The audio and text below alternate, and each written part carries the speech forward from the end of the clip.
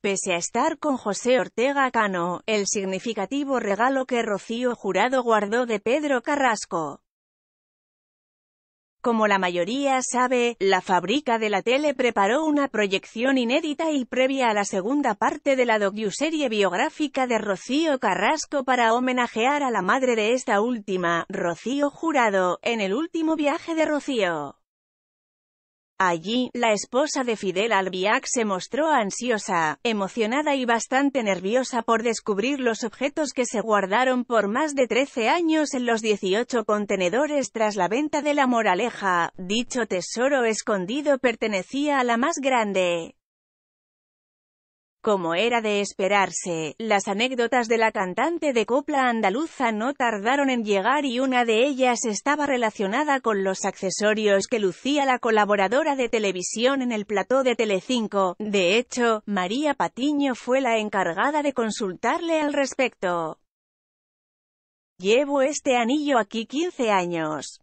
Este anillo significa que ella lo llevaba siempre puesto y yo tuve que quitárselo cuando se la llevaron y me lo coloqué aquí, ahí se ha quedado y ahí se va a quedar. Tras estas palabras, Rocíito explicó a sus colegas que estábamos frente a una pieza muy especial para ella, tanto así que la consideraba como su amuleto de la buena suerte. Pero eso no es todo. La exmujer de Antonio David Flores desveló que se trataba de un significativo regalo que la chipionera guardó de Pedro Carrasco. Menuda sorpresa. Pese a formar una nueva familia con José Ortega Cano, la intérprete de Como una ola nunca se habría quitado ni el anillo ni la pulsera a juego que venía con esta preciada joya, las cuales le habrían sido obsequiadas durante el nacimiento de Rocío Carrasco. Esta pulsera tiene tres brillantitos que se la regalaron cuando yo nací, se la regaló mi padre, éramos mi padre, mi madre y yo, y siempre la llevaba puesta.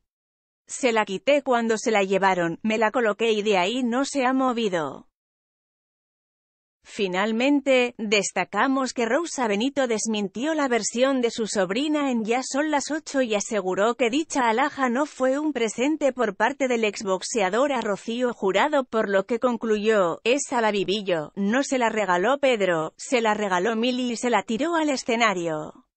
Se la puso y se la quité yo el día que se fue y se la di a Rocío. Dale play al vídeo y os descubriréis la declaración de la madre de Rocío Flores.